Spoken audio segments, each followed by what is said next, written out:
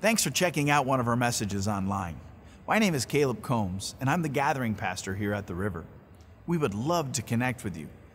Simply texting River Connect with no space to 97000, or you can visit our website, theriverchurch.cc, for more information. If you'd like to financially support the River Church, you can do that by texting an amount you'd like to give to 84321 or you can visit our website again and click the Giving tab. We hope you enjoy and are challenged by the message today, and we hope to see you soon. Well, good morning, everyone. How we doing? You know, it's snowing, and you lost an hour of sleep, and you're still here. This is pretty awesome, huh? It excites me. Um, I love it. You know, it's supposed to be a down day, snow, and uh, I mean, some of you look like you lost an hour of sleep, but uh, some of us came to the 8 a.m. gathering, though, too. That one, that one really hurt. But uh, so glad you're here at the River Church. We want to welcome you. Welcome all of you online. Thanks for joining us. If you have a Bible, we, we will be in Mark chapter number 11. Mark chapter number 11. Ladies, I hope uh, tonight you consider going to the ladies' event. I, I, had a blast talking to the 8 o'clock about uh, the ladies' event and talking to them about axe throwing and uh, climbing rock walls. It was great. Uh, but just so you know, those are all optional. They're not going to be like, you're climbing the wall. That's not what's going to happen.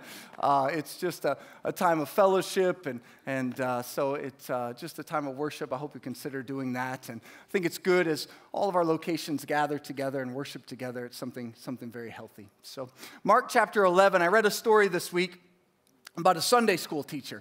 Uh, she was the preschool Sunday school teacher at the church.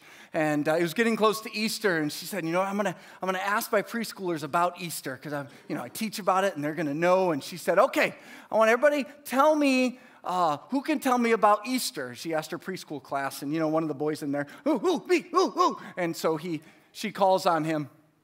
And he, and he says, you know, teacher, uh, Easter, it's like when all the family gathers together, huh? And we, you have food and, and turkey, and, and then we watch football. That's what we do. so she, uh, she went, well, there's no, no football, in, but maybe he's just got it confused. Maybe Thanksgiving and, and uh, you know, Easter. And so another uh, little girl raised her hand and said, I know, it's when in the morning you come downstairs and there's that gift that you get. And so now the teacher starts to be discouraged. She's like, man, I've been teaching these kids and, and, and, and it's been important. And, and so she just feels discouraged. And a little boy in the back kind of timidly raises his hand. And she says, Okay, yeah. And he goes, Teacher, Easter is when Jesus died on the cross and he was buried. And now she felt really pressed. She's like, okay, they're getting it. But he didn't stop there. He said, and he came out of the grave, and if he saw a shadow, uh, we'll have six more weeks of winter.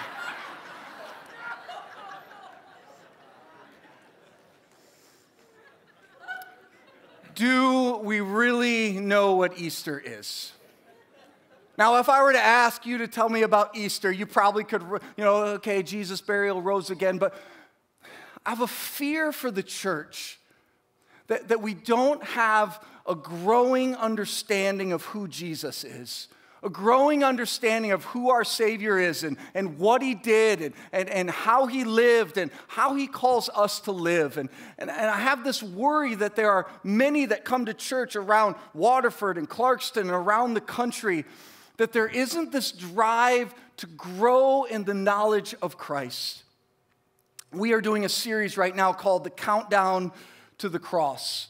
And our desire is that you will grow in understanding what Jesus did for you, who Jesus is, and, and how he lived. And in the book of Matthew, it spends a quarter of the book of Matthew, eight chapters, just on these last eight days. As, these, as Christ goes to the cross, it is, it is focused on this last, on this last week.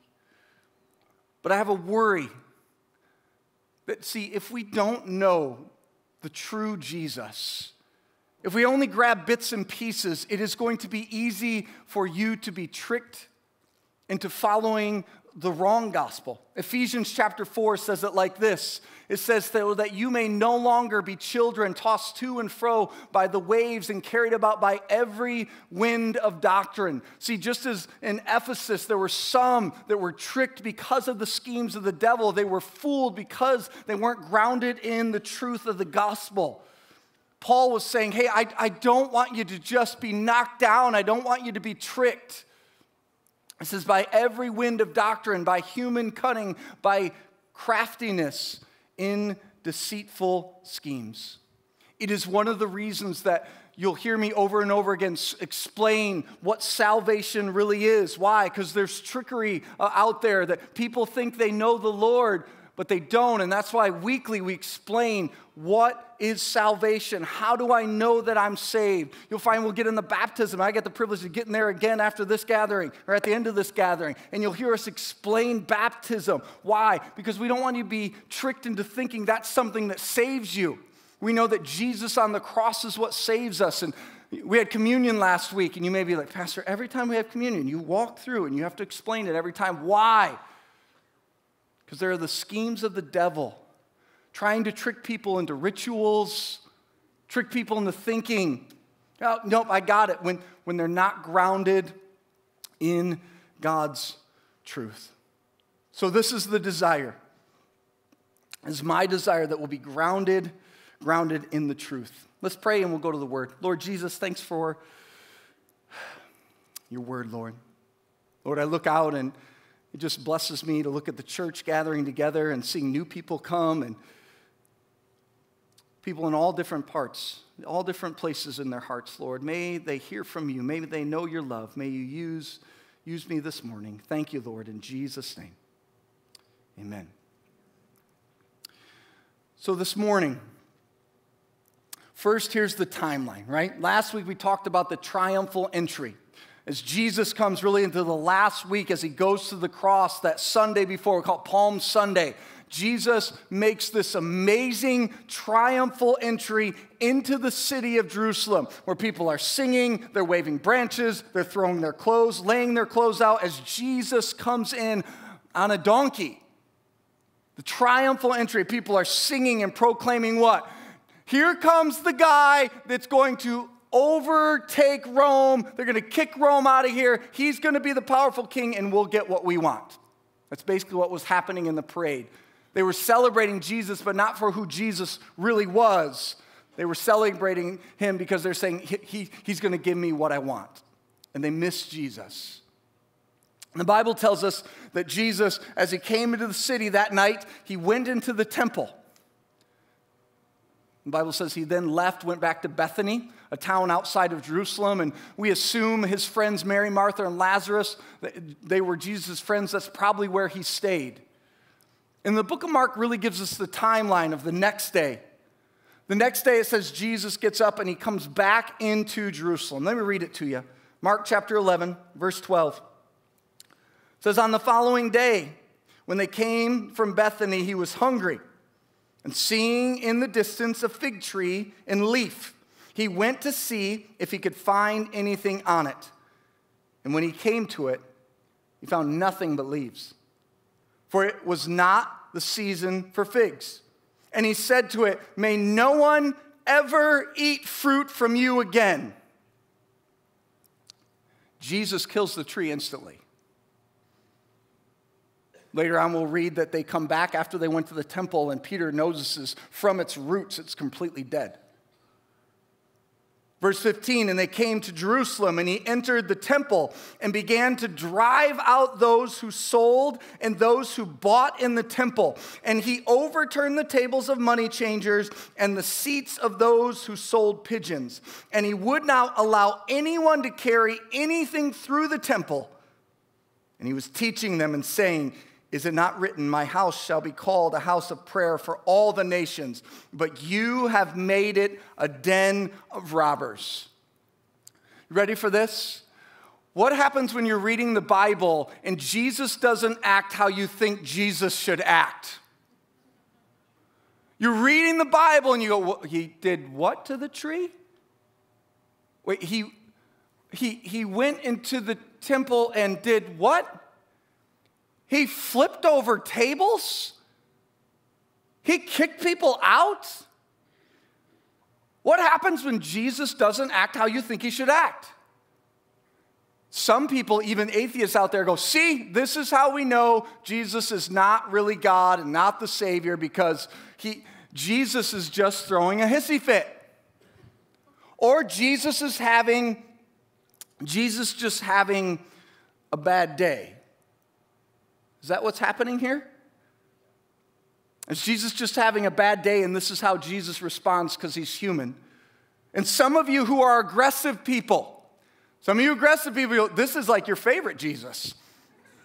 You're like, yeah, baby, that's what I'd be doing. Except, truth is, when you do this, you actually do it because you've let anger and wrath take over. That many times you do this because you are having a temper tantrum.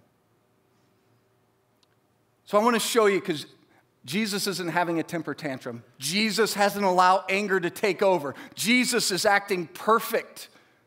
Jesus is doing what God wants him to do here. But what is actually taking place there? What is Jesus actually doing? See, what we can't do, and what many people do, is go, well, the American Jesus, that doesn't sound like it, so we'll just say it kind of didn't really happen. We can't do that. Because we know we have God's word. This says this is who Jesus is, this is what he did. So, what does it mean? What happened there, and what does it mean for us? Well, first, you need to understand the temple. See, it says Jesus goes into the temple and he flips some tables and some chairs. Now, when I've read this before, I kind of think so Jesus went to this room, you know, I think there's like a mount or something, and there's this big castle thingy, and he goes into it, and there are people there, and, and so Jesus flips some tables. That's not what it looked like. See, first off, this temple was one of the world's most magnificent buildings there was. It took over four decades to build this building. They say it took some 10,000 carpenters and masons. The pillars, right? There were some pillars that were huge. They were 100 feet tall, covered in pure white marble. The door to the holy place is estimated to be 60 to 100 feet tall. This isn't some little tiny building, this is huge. And this takes you to the middle. See, in the middle was something called the Holy of Holies. The, the high priest once a year could go into the Holy of Holies, no one else. And then you'd back off from there, and there was another area, and that was for the priests. And then, and then back from there was a court for, for the Jewish men. They could come that far. And then back from there was another court that was for the Jewish women. See, they couldn't go any farther, they had to stop. And the furthest away, and the least important to the Jewish people, was the courtyard for the Gentiles. Jesus goes into the temple, this is where he's at. He goes into the entrance where everybody enters. It is estimated, this is estimated there's some 35 acres of open air here. This is where Jesus is at. Jesus comes into here and there is a circus going on. This is when Jesus comes and he flips some tables, turns over chairs, kicks people out. Now, I know what some of you think. Jesus just kind of went, you know, he didn't really like, he just was like, oh, oh, sorry. Oh, that's okay. Okay. That's not what happened. It's much more powerful than that. I want you to see it. It wasn't a little small room, there wasn't like 12 people there. There were tons of people. There There were people selling and trading. There were people that have come from hundreds of miles. See, Jerusalem is, they estimate, some six times the population was at Jerusalem at this time of the Passover. And Jesus comes into his house, and what does he do? He throws out the sellers and he throws out the buyers. And you may ask, well, what, I mean, did they let just people do this? Because it seems like, could anybody do this? And didn't, weren't there like soldiers there? Well, here's what we know we know that the high priests, Rome had given them the power. Rome had said, hey, you can have your temple soldiers. If somebody goes to a place they shouldn't go, you have authority to kill them immediately. That is the power that Rome gave to them. So if somebody thought, you know what, I'm going to the next court, I'm going to where I want to go to, the temple soldiers had the authority to execute that person on spot. Yet Jesus throws out the buyers and the sellers. I want you to see the power of Jesus here. Some may say, how, how, how could he do that? Well, just a couple days later, hundreds of soldiers will come to Jesus to arrest him. And Jesus speaks, and you know what the Bible says? All the soldiers fall down at the voice of Jesus. See, I want you to know the power of Jesus. When, when Pontius Pilate said, I have the power to release you, Jesus said, No, you don't.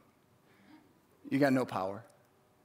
Daniel in the lion's den, it wasn't because Daniel put the lion in a headlock, because God said, Shut your mouth. Shadrach, Meshach, and Abednego in the fire, right? Why did the fire lose its power? Because Jesus is in control. This is the power of Christ. And here, Christ comes into his house, the temple, and throws out the buyers and the sellers. So, my question is what is Jesus doing there? What is he doing? The first thing I want you to know is this Jesus is rejecting false worship. This is what Jesus is doing. Jesus is strongly rejecting false, fake worship. He kicks out the sellers. Well, who are the sellers? So, what would happen is once a year, people would travel hundreds of miles to come to the temple. They'd have to come bring their sacrifice once a year. And so they would come into the temple and they came up with this business that said, hey, if some of these people don't want to bring their sacrifice this far, we'll just have them ready at a really good Walmart, not a good Walmart price. And so they would jack up the price so people would come and they would force them to buy the animal at a crazy price and they would make money manipulating the temple. Then there was some that would come with their animal. They would bring their animal, and the priest had the authority to look and go, nah, that animal's not quite, it's, it's not good. Let me show you one that is good, though. You can buy it over here. The Bible says that in, in Mark and Matthew, it says he kicked out the sellers who sold doves. Now, I think this is important because doves were the animal that poor people would have. They, they, they, couldn't afford a lamb. They couldn't afford those things. And so doves was, was for poor people because they couldn't afford it. And here the Bible is saying, yep, this is the place that they extorted people who came to worship God. They manipulated this. Manipulators. God flips their tables. God's not okay with it. God says, Get out of my house. Why? Because he rejects false worship. One man said the temple was to be a place of worship, praise, devotion, a place where people could draw close to him and worship and sacrifice and offering and could seek his will and blessing. It wasn't to be a combination, a marketplace of a stockyard and a bank with hucksters and charlatans carried on their greed enterprises under the guise of serving and worshiping the Lord. The Lord doesn't stand for it, doesn't accept it, calls it out. Says, You have made my house a den of thieves. And here, Jesus calls out false worship. Sadly, there are people that use the church today, right? Manipulators who abuse the church for their greed and their gain. I don't want to be that guy. Why? Because God is just. He's just. There was a lady, I, have worked at the church a long time, and when I first started working here, there was a lady, her name was Deanne Mosier, just a wonderful lady. And Dee was the secretary and ran the books, and, and uh, I was just a young punk and, and doing middle school stuff and high school stuff. And so I would always have to bring the receipts and turn in money. And, and uh, so I'd always try, okay, Dee, I think I got, okay, this is the money that goes, and I want to make sure it's right. And I, I always remember Dee, she would say this. I heard her say this multiple times. She goes, Well, it's the Lord's money. So if you wanted to steal it, good luck.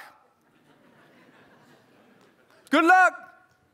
It's the Lord, He'll take care of it. And people want to manipulate and use the church. We see in Acts chapter 5, you want to see another story about people who tried to abuse, right? To make themselves look like they're something. Ananias and Sapphira, you'll find it doesn't go well.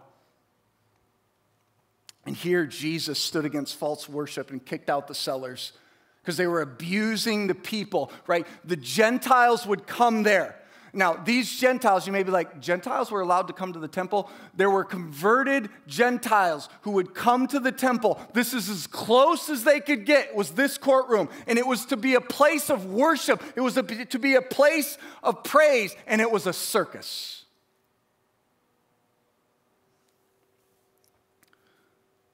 But as you're reading, you may also see, you may say, Pastor, not only did he kick out the sellers, but he, he kicked out the buyers.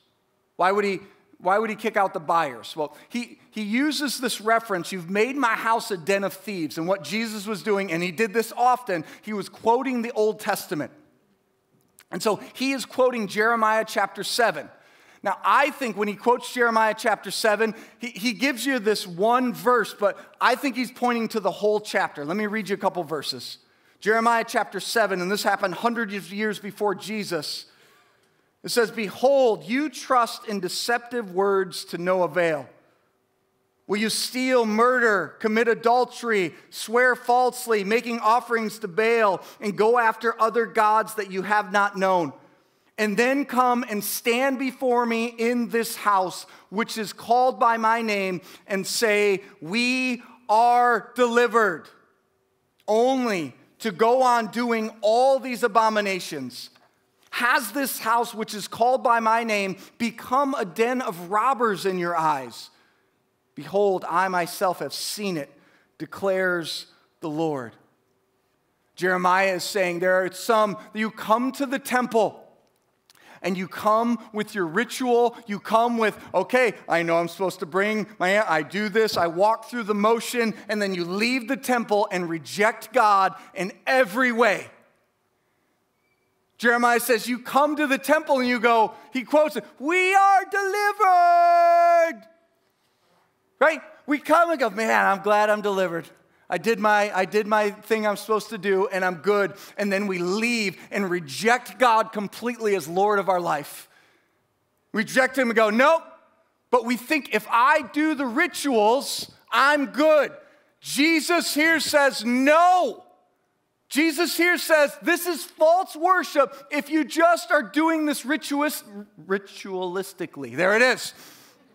If this is just religion, if this is just a, you're just going through the motions, it's not real. And so, what Jesus is doing, there are those who have come who don't believe in the Lord. They don't trust the Lord. What do you mean they don't trust the Lord? They, what the Lord says, they don't believe it to be true. What the Lord says is best for their life, they don't believe it to be true. What the Lord says to go and to do, they don't believe it to be true because they don't do it. But yet you come back and go, We are delivered. To quote a man every year, people who denied God with their lips and actions would come to the temple and proclaim, We are delivered. They, th- they thought they could just walk into this oversized confessional booth, go through the motions, and walk out completely absolved of their sins. Remember earlier in the day before Jesus got to the temple, he stopped at a tree. It says Jesus was hungry. And there was a tree and it had leaves on it. And that, that is to symbolize that the, the tree had leaves, so it should have had fruit. Jesus comes to the tree, there's no fruit. Jesus kills the tree. And some people say, wow, what a waste of the tree. No, no, this is one of the greatest trees in the history of mankind, right? This tree has spoken to many people. Because what is the tree saying? Jesus, see, in the Old Testament, fig trees many times would represent Israel. You looked at the tree and said, This tree is a faker. It gives the image like it's alive and has leaves, but it has no fruit.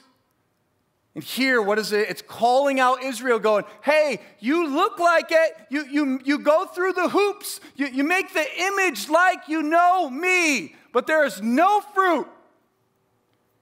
It's fake.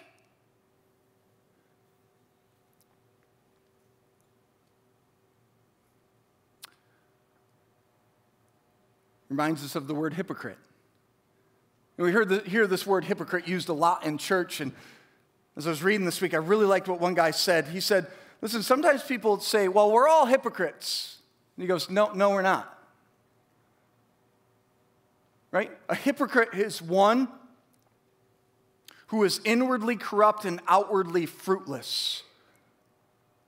A hypocrite is one who has no heart for God, but will do whatever is necessary to make sure the God God in his life is appeased and the people in his life are pleased.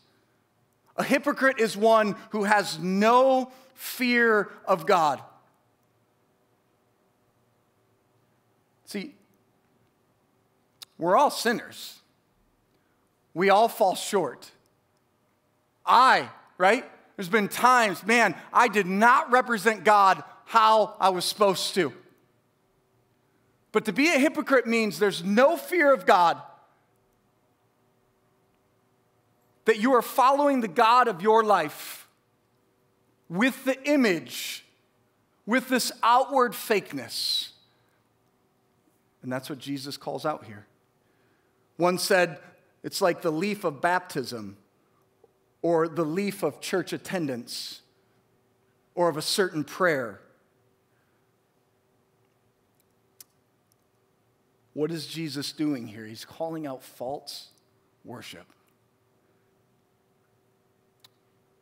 In Matthew, if you flip over there, Matthew chapter 21, Matthew gives us a little bit more insight of what happens. After Jesus flips the tables, after he kicks everybody out, which is amazing, right? It says this it says, And the blind and the lame came to him in the temple, and he healed them. But when the chief priests and the scribes saw the wonderful things that he did, and the children crying out in the temple, Hosanna to the Son of David, they were indignant.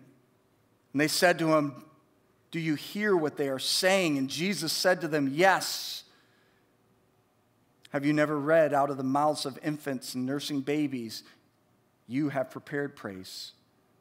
And leaving them, he went out of the city to Bethany and lodged there. What does Jesus do on this day? He rejects false worship and he restores true worship. See, that day, and I love, uh, Mark says this, says he began to teach, and then it uses the word teaching again. And at the end of that section, Mark says, and at the night, Jesus went home, which means I think this is a day. I don't think this was like Jesus said two words, heal a couple of people, pff, gone. No, no, no. I think Jesus came in, and when, when this happened and threw everybody, he threw the circus out. True worship started to happen that the blind and the lame came. And you may ask, why, why were they not afraid? Because the fury of Jesus was not on them. And they came to their Savior who healed them. Says children began to sing, worship unto Jesus, worship unto God. Here we see the true worship is restored.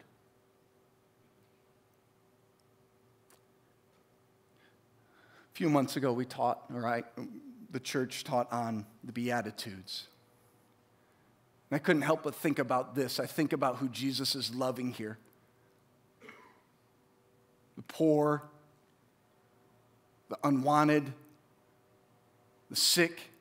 And it reminded me of the Beatitudes. Blessed is who? The poor in spirit, who realize they need help. Blessed are those who, are, who mourn, who are meek, who hunger for righteousness, who are merciful, who are pure in heart, who are peacemakers.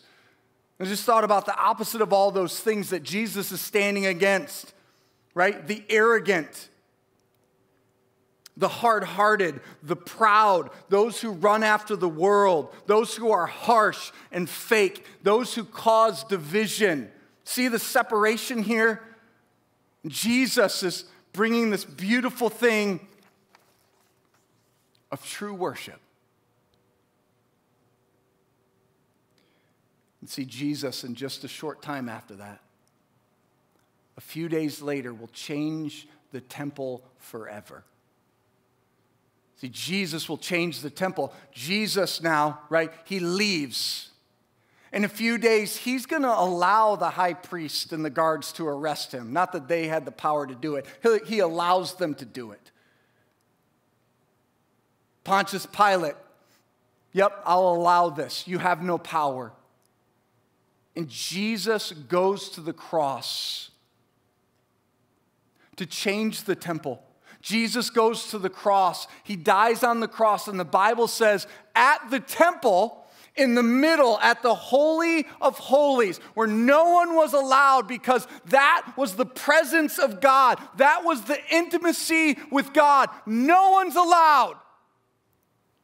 says the veil was torn in two. What did Jesus do? Jesus opened up the Holy of Holies because of Jesus and the cross, we now may have a personal relationship with Christ. We may now have true worship to Jesus because of what he did.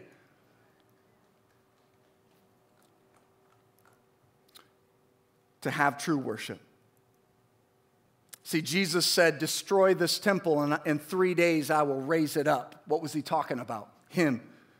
Jesus said in Matthew 12, I tell you, something greater than the temple is here. What was he talking about? Himself. To quote a man, the, certain, the curtain was divided, the Holy of Holies, from the rest of the world. It divided the court of the priest and the court of Israel and the court of women and the court of the Gentiles. And that division was torn asunder. In Christ's sacrificial death, the earthly temple completely crumbles to the ground and is replaced by the one Jesus. See, he changes the temple. We now may have a personal relationship with Christ to have true worship. 2 Corinthians chapter 3 verse 16 says, "But when one turns to the Lord, the veil is removed." The Lord is the Spirit, and where the Spirit of the Lord is, there is freedom. I told you that um, my wife is a public school teacher and she's a music teacher. And it's been a hard couple of years of, of she's a music teacher, so every half an hour a new group of kids comes in her classroom and she's having to sing with a mask on. It's just, it's just hard. It's been hard, and the kids struggling, and, and um, so she was happy when, when you know, the, the regulations changed and kids didn't have to wear masks. And, and, um, and just FYI, this isn't like a, where we stand on COVID. I heard a guy say when the church aims more on their COVID stance than they do in the gospel, they have some problems. So, okay, we can be a little different, and that's okay. At least some of us can, all right? Um, but that day came when, when the kids didn't have to wear a mask, and and so my wife had not seen her students for like two years. And some of them she'd never seen their face. And she was so excited to see their face. She was so excited to see them. And she was, uh, one of the classrooms came up to her door and she began to look, talk with the teacher and go, oh, I didn't think that, that that's what she would look like. I can't. And she just started, you know, talk with the teacher, and the teacher said, Hey, class, I just want you to know Mrs. Combs is so excited to see your face. And Laura saw this little boy in the back. And he was in the back and he had his mask on. And he took his mask off and put it in his pocket because he was so excited that he could see her and she could see him. And I thought about how awesome Jesus, you know what Jesus did? Jesus removed the veil. We, we get to come to Jesus. Jesus saves our life. We can have this personal relationship with Jesus. The veil is removed, and we can know God.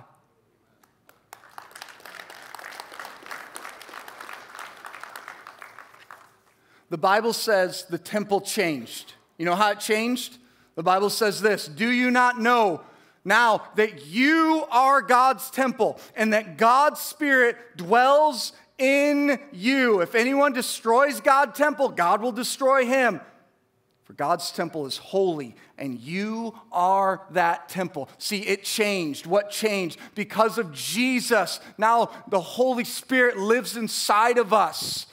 So, what does that mean? What that means is, I wanted you to see this morning what Jesus was doing there. Jesus was calling out false, false worship in the temple. Jesus was wanting true worship in the temple. Why? Because the temple is different now, right? If we know God, we're the temple. So, what does it mean for us? Let's call out false worship in our life. Let's call out those things that, that are fake and ritualistic and religious. And let's run after true worship of the King. Let's run after him. So, this morning, if you know Jesus, be real with yourself. Listen to the Spirit. Maybe He'll call out something that's a ritual in your life that's not real. He'll call out just the image that you have, but He knows your heart that it's not real. You may ask, how, do I know if it's real? What do you do in secret? When nobody else sees it, when in your car nobody else knows, do you seek to honor the Lord? When you're at home and no one is gonna know what you're doing, you're like, I, I can get away with it. Is there still a fear and a love to worship Him? Because that's real worship. May we be a temple that fights against false worship. May we be a temple that has true worship. To read you one last quote, speaking of that temple, says this When a seeking heart enters the church, see, the church is in the temple, the people of God are. So this morning, there's somebody here who has that seeking heart. They're trying to figure out is this church thing real? Are these people real? So when someone comes and seeks, when a seeking heart enters our church, our home, our lives, our court of the Gentiles, may our actions say that God is alive, that God is holy, that God is loving. May our worship and our service say to the rest that we love Him with all our hearts. You see what Jesus is doing here? May we know the love that He has and the life that He has called for us who know Him as Savior. Will you stand with me, please?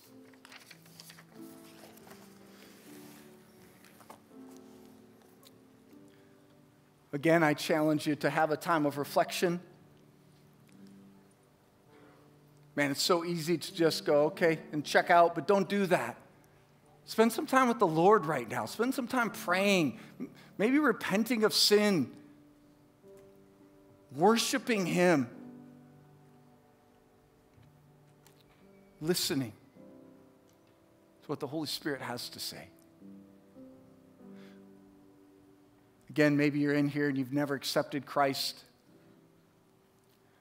You've never accepted that true personal relationship with Jesus. It's only found in the cross. This morning, you can know that. This morning, if you confess with your mouth the Lord Jesus Christ and believe that God raised him from the dead, you shall be saved. Have a relationship with Jesus. Lord, thanks for this morning. I pray you used it, Lord. Continue to use it. May we truly worship you. In Jesus' name, amen.